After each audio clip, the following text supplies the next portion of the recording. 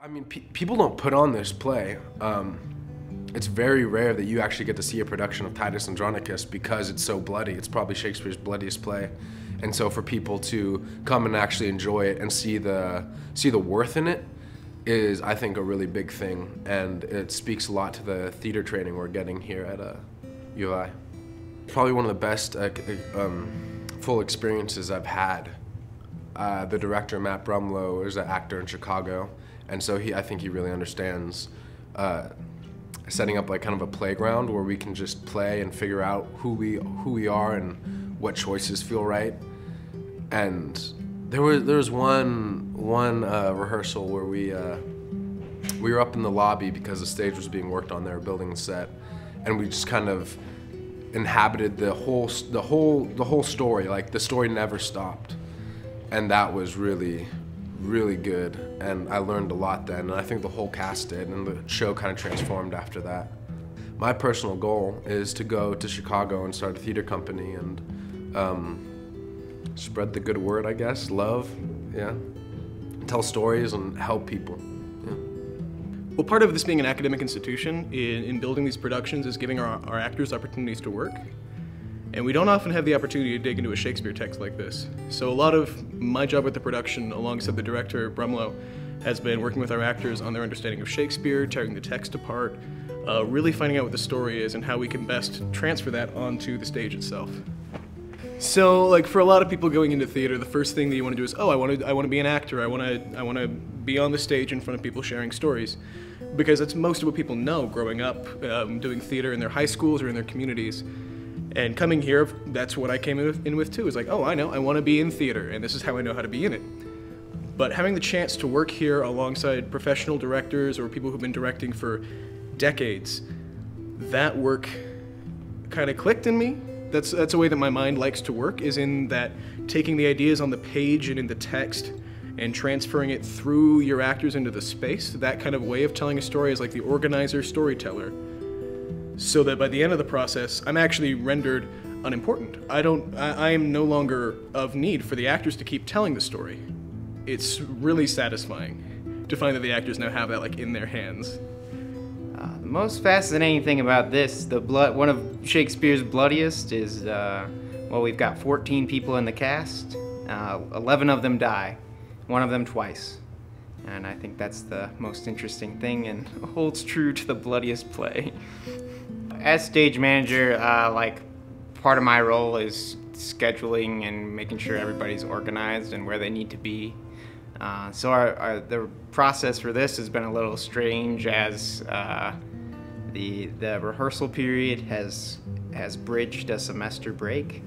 Uh, so we had to deal with uh, being off for you know three four weeks or whatever, and then coming back and restarting again and dealing with uh, anything that should come of being off for that much time. Really nice thing about the program here is like even if you have an emphasis, you're still able to kind of cater your your track to what you would like it to be. So I get to dabble in a lot of different things. And today, or not today, this year, I'm also um, getting to be a part of the playwriting class too. So it, it's it's great to be at a school that lets you look at the art making as a whole rather than you have to like specifically stay in one track.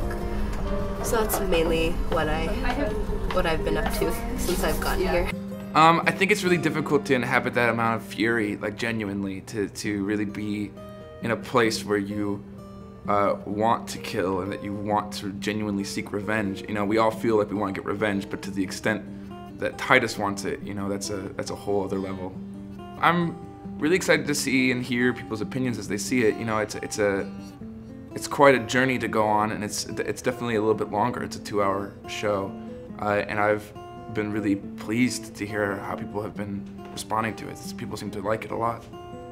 I'm about what happens when uh, when old systems of faith and honor fail you, and that uh, revenge is the only answer.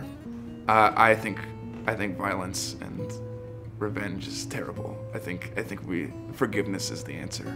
So we wrote this crazy revenge tragedy where it's very violent, A lot of atrocious things happen in it. A lot of the revenge tragedies at the time were very sensational, grotesque.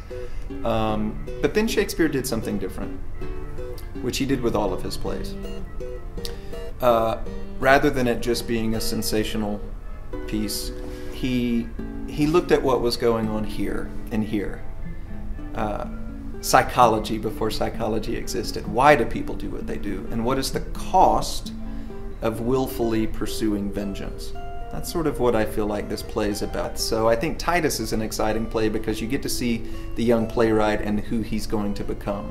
And uh, all of these characters are extraordinary human beings uh, in a really tough situation and they behave badly. And Shakespeare sort of shows us the cost of that. What happens when we lean into that fear as opposed to see what we have in common.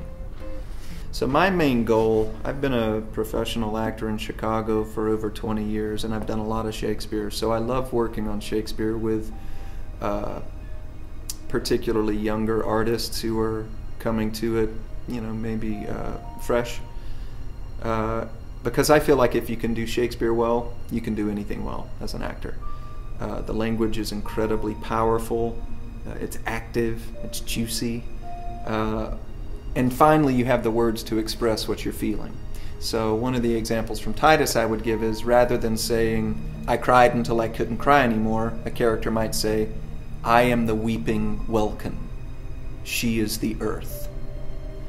So, we don't talk like that but but as soon as you have that language it, it really activates something deep even spiritual i think in the actors. So i think half the battle in rehearsals is we have to figure out literally what are we saying uh, who are we saying it to what do we want how are we going to get it?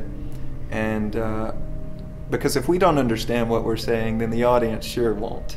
So try to make go for clarity and then just keep digging and digging and digging because there's so many layers with Shakespeare, metaphor upon metaphor. And I've done a lot more acting than directing. Directing is uh, really rewarding, but it's also very difficult because you. Uh, it sort of feels like having a child in a way. You have to you have to let let it go. You know, in order for the play to really take off and grow, the company has to take it, and they need me to get out of their hair and leave them alone. we had a lot of fun making it, a lot of fun figuring it out, and that's why I do this. It's it's uh, it's community. It's uh, you know uh, connecting with with people through storytelling. So in the process of making it, doing it, telling it, it was a whole lot of fun. They call me Old Man Brumlow here. I'm a little bit of a non-traditional graduate student, so it's just been really inspirational for me. Not not just the uh, developing director in me, but the actor in me. I, I get really energized when I am around other actors, other storytellers, and particularly new ones uh, or younger ones. And they have taught me a great deal. They all of them pretty much just blow my mind on a daily basis with the things they create and their capacity for empathy through storytelling. I have a tremendous amount of respect for uh, the department here and the students. I, I really am grateful for the experience.